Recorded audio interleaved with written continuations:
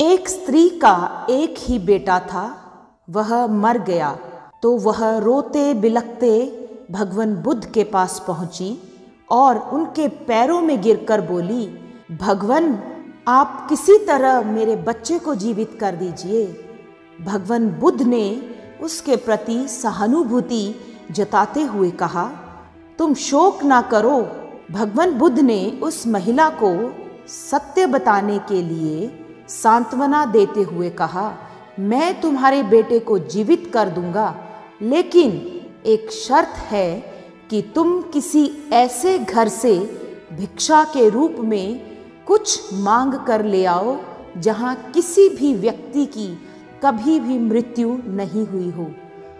उस स्त्री को कुछ तसल्ली हुई और दौड़कर गाँव में पहुँची।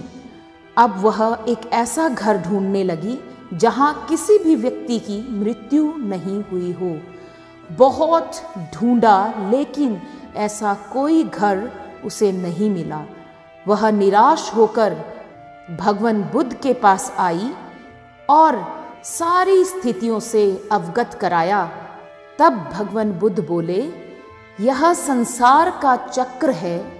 यहाँ जो आता है, उसे एक दिन अवश्य ही जाना पड़ता है।